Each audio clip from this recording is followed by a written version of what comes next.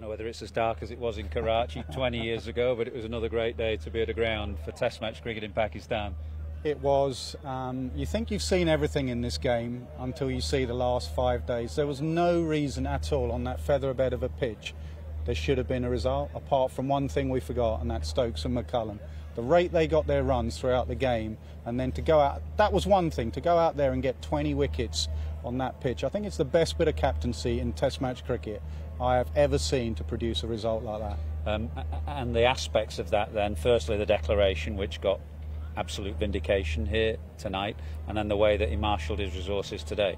Everything. Very rarely do you get a, a, five days where you get everything spot on. The way he sends his batters out the door to go out and have fun and score at 6.7 runs and over, um, to get you ahead of the game, to buy you time towards the end of the game.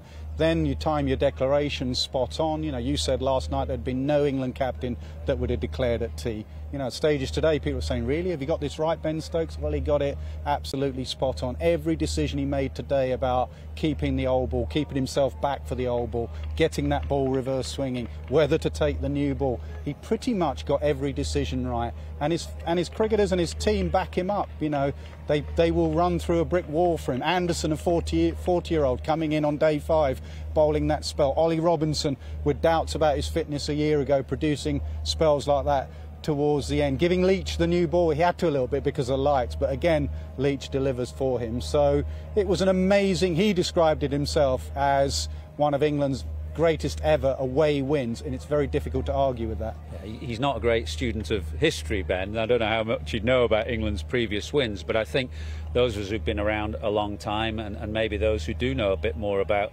England's dim and distant victories abroad, this has to rank amongst their finest wins, doesn't it? Well, you're more of a historian than me, but I can't remember either in my playing days, watching cricket growing up, or commentating a better performance. A performance where you have to get everything right, burst every sinew, and to, you know walk the walk after talking the talk.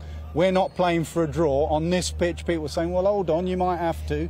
I think once he's done that, and then you put in a performance like that, um, I would say it is one of their greatest ever victories away from home. Uh, tea time came. England still needed five wickets. I'm not sure there'd been another session in the game where five wickets had fallen. How did you rate their chances at that point? Only because it was reverse swinging and they had four bowlers to come. So once they got it, you know, they shined it on their back, they shined it on their neck, they shined it on Leach's head, they got it everything reversing. They finally got it reversing. And once they got that, Anderson, Robinson, and Stokes himself bowling that 11 over spell, once they got that ball reversing, suddenly five wickets doesn't look a million miles off.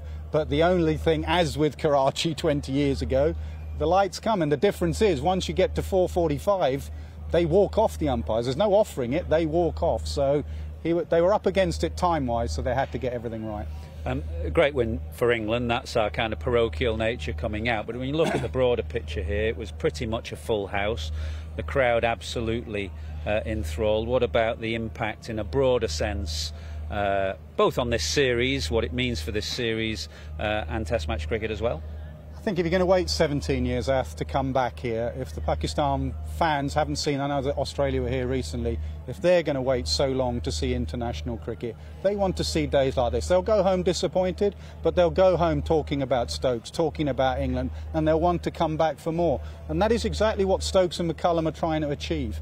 If they had batted on yesterday and today, this would have been a boring test match, and everyone would have been saying, Test match cricket, we do not need it. Days like these, for last couple of days, and what Stokes and McCullum are doing is that people have got their eyes on Test match cricket. There have been a lot of people in Pakistan around the world watching, and it may lead other people. You know, whoever takes over from Stokes is going to be a difficult Good gig. Good luck, because you're going to have to take this on. So there's no holding back, but you need the players to be able to do that. And that's why the, someone like Harry Brook and the way he's batting is absolutely vital because they're the sort of players that McCullum and Stokes want to, to get the run rate up and buy them time. And those young players that you mentioned, like Brook, like Duckett, like Jacks on debut, Livingstone on debut, of course, they're multi format players with plenty of options down the road. Stokes is trying to kind of keep them on side as far as Test match cricket is concerned. And of course, when you experience a day like today and five days like this, it might make them want a little bit more of that taste. Yeah, I thought you made a good point um, into our studio earlier one day victories, T20 victories, you pack your bag, you go on to the next game.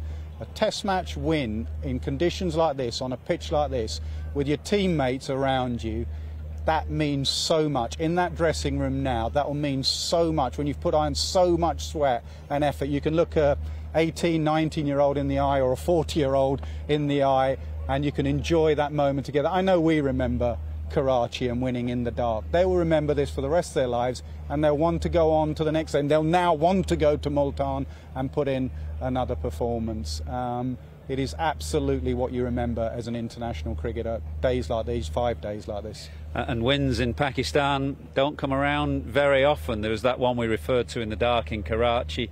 There was one other under Ted Dexter, and that's it before today. So, this, England's third win of Test cricket in Pakistan, uh, a remarkable day, a historic day, really. It set the series up beautifully, and it was absolute vindication uh, for Ben Stokes' declaration yesterday. England got the victory they deserved. They made all the running here, and they are fully deserved to be 1 0 up.